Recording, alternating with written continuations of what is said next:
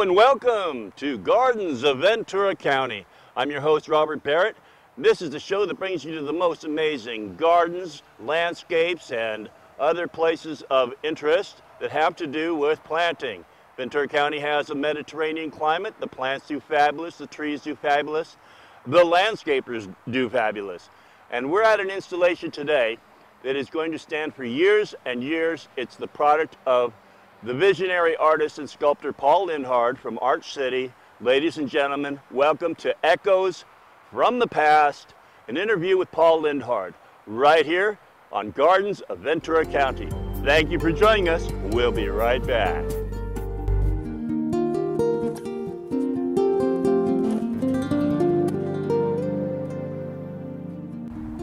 Echoes of a Recent Past. Paul Lindhard's artist statement. Echoes of a Recent Past is a site-specific long-term temporary art installation that repurposes and reinterprets materials that were found and harvested on lots being developed in downtown Ventura.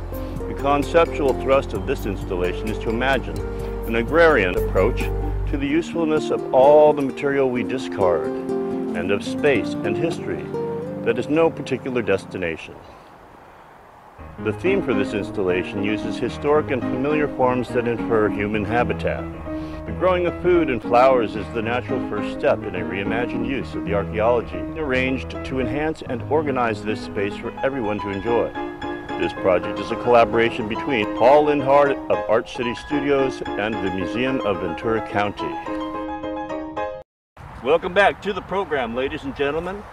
We are absolutely thrilled and proud to introduce to the show Mr. Paul Lindhard, creator, visionary, director of this wonderful project, Echoes from the Past. Welcome to the program, Paul. Thanks, Rob. I'd like to uh, thank you for the opportunity to express what this project's about. You're very welcome. Paul Lindhard, ladies and gentlemen, is a fixture in Ventura. He's the uh, creator, the owner of Art City Studios over on Dubbers Lane and Art City Stone, Stone Supplies and Studios for Artists. Absolutely fabulous place. Check it out whenever you have the time. But we're here today to talk about Echoes from the Past. This wonderful installation featuring recycled materials. Paul, why don't you take it from here? Tell us all about it. Well, about a year and a half ago, there was a building called the Strong Steel Building, a block from here, and it was demolished. And it had a lot of beautiful material, including 200,000 bricks that I got and a bunch of uh, cladding and tin that will last still for hundreds of years. And so I, I had in my mind how that could be repurposed. And in the back of my mind, I wanted to do this project here on this site, which is behind the museum in a lot that was in disuse and had not really been considered for close to 25 years of my uh, tenancy in the city. It laid fallow for quite a while, nothing but boulders and weeds, absolutely. We, we're wondering what the museum might decide to do with it. Tell us, how did it come to be that the museum um, embraced this project? Well, I've worked with and for the museum in a variety of capacities. And when I told them I would clean this whole site up and I had this general premise for this installation project, they, they just gave me a green light. And they've been generous uh, helping me get the mulch. They helped me with my budget. Um, they gave me pretty much latitude to develop this as I saw fit because overall the whole piece, the whole 20,000 feet has been conceived as an organizational principle of recycling material and creating something fanciful and uh, magical for the community and make it a place worthy of visiting. We, to that end, we have a grand opening on the 22nd we'll of speak September. About that. We'll speak about the grand opening in a moment, but I'd like to follow up. Uh, ladies and gentlemen, speaking of uh, places that are extremely important to visit, Paul Lindhard has installed many fixtures throughout the city of Ventura. He has ramparts on top of Grant Park. He has the Welcome to Ventura beautiful big calcite stone monument at the north end of the, uh, or the west entrance to the city. Many other installations all over the county, all over the state. This man is a recognized sculptor and artist worldwide, actually, but he's very humble and very gracious with his time. And uh, I just wanted to throw that in. I hope well, you don't mind. Thanks, Rob. Appreciate it. The tin teepees were the original premise. It's a standalone sculpture I could put anywhere, and its odd configuration would create a, a, presence. You could put it out in the desert, you could put it in a variety of locations. This was the one I wanted because it's going to be in full view of the new inhabitants who's, uh, who are replacing the building this came from. The bricks that I've configured stupas and sort of uh, finials from Eastern culture are additionally from that complex. And when I harvested them, it was uh, the, the, there was a quite a variety of possibilities, but I came up with a conical form because I started with a conical form. And then the other organizing principle are the square forms of footings of old habitat that are done in a traditional masoned up way, and then we turn them into planter beds to backdrop of sunflower planting. There was the primary view plane of, the, of this site involved this huge wall. So we painted the wall and planted sunflowers against it as a backdrop for the initial uh, look. Then we built three different masons, built traditional stone masoned arrangements of old habitat using mostly round rocks that came from this site. And then we had to generate some corners and steps and quoins to hold the thing together. And we, uh, we mixed up some various principles of adobe and sand slurry that gave us a, a kind of organic mortar to bind these footings together. And, and we're in the first year of planting food in these gardens. The very first planting we donated to the squirrels who were the primary inhabitants of the site. Now we've worked out a truce and we're growing them food in other ways. This is an artichoke and it should stand proud and flower just in time to uh, frame this wall and the sunflowers that we've planted. Talk about a mural? A mural has been proposed to the museum. It's not my wall to paint. It was my wall to do a shadow play on, and I painted it for cleanness. But if a mural is proposed and uh, uh, the museum sees fit, then a mural will happen on this wall. This uh, configuration of, of tin teepees uh, inspired me to make these mud cones to grow uh, type of squash that was an indigenous squash to the area that we live in. These cones were put together with indigenous adobe dirt and some sand and they hold the moisture in and they have given us fabulous uh, bunch of squashes of an unknown but old origin. So I was proud of how they, they uh, mimic the teepee configuration and in the greater distance are teepees for beans that are growing. So the, the conical theme of teepees and uh, that, that type of architecture is in, from the most primitive thing of ways to grow food to the more, like the bricks, a more decorative thing, the way you would decorate a city or a town. And this is a rondo used, uh, repurposed to create the tin teepees, the bean teepees. These beans will go all the way to the top and start hanging down and over onto the fence. This will be a, a, a vital element of greening up this space and making it feel more comfortable for people. These planters, we originally designed them to grow in the Three Sisters technique of corn, beans, and squash. But as I said, the first planting was, uh, we, we gave it to the squirrels. They didn't actually give us a choice. So we replanted, and these food planters, I think next year we'll have a really bountiful harvest of food because they need to mature dirt. This was really fine quality dirt from Agromin, and it, it needs to have growth in it and, and develop some uh, texture and, and uh, weight.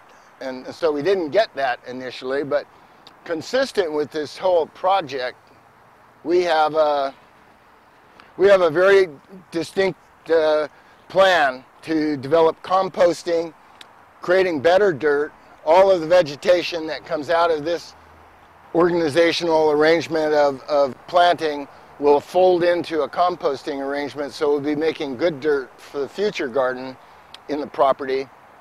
And then uh, the dirt underneath the first layer here is actually pretty nice dirt. We've dug recently three giant holes to plant specimen oak trees, which is a project that will complete my install on the site. So it'll be the only permanent part of the installation will be the three oak trees. And uh, they're fabulous, beautiful trees coming from Oshan Nursery in Ojai. And then as a final surprise, we're putting five large-scale public art pieces on this site as the final installation nuance to an art site so that it kind of says museum in addition to an art installation which happens to be taking place on the museum grounds. This site we have compaction sand, we have high quality dirt from Agromin, and we have the original dirt pile which is fraught with archaeology from the site directly across the street. This material was deposited here by the previous de developer over there and just left across the middle of this lot. And it was 80,000 pounds of rock and dirt. There's some interesting stuff in it, no doubt. But all we did was move it to one spot and uh, set up tables, sorting tables, and sifting tables so that future archaeology students will be able to come out here and work through the um, programs being developed by the museum.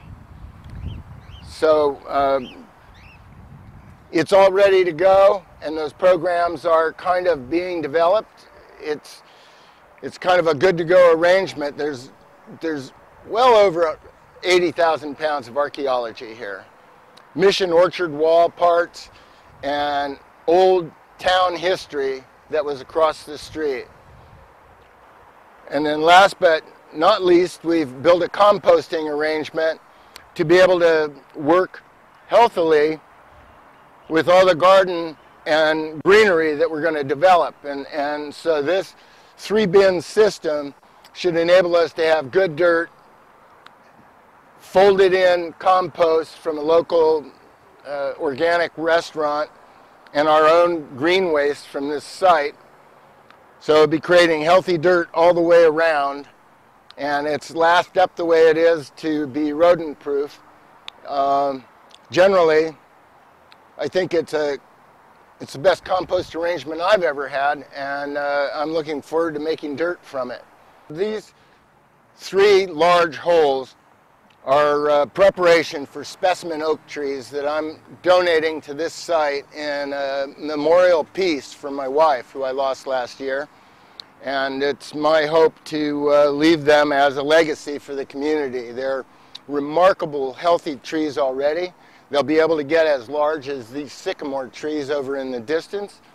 And uh, the trees I chose, I'm really, really excited about bringing in here. It'll be about a week from now. The entire site will be complete before the grand opening that we're going to have on the 22nd of uh, September. Daniel Oshan, he was extremely generous and helpful in helping me locate best quality specimens. These are going to be coastal oaks that will do lots better down here in our climate than, uh, say, an encino, which is the commonest oak in Southern California. Nobody had to supervise the dig. We did a dig alert to be sure there were no pipes in the holes and no existing plumbing. After that, we were given permission to dig these holes in spatial relationship to the canopy the trees are going to generate in the future. I have been asked about uh, Chumash archaeological aspects of this particular site. To the best of my knowledge, this was not a habitat. This was in the middle of the orchard for the original mission orchard. And it, uh, it, it, there's no evidence that there was habitat on, on this specific site. and nothing was found from the dig. The dirt is all right here to be examined and broken up and mixed with other dirt to uh, backfill for the trees. And then we'll add it to the dirt pile over here. But it was very evident that this is just native soil and uh, it, it has nothing more interesting than a little bit of old clay pipe.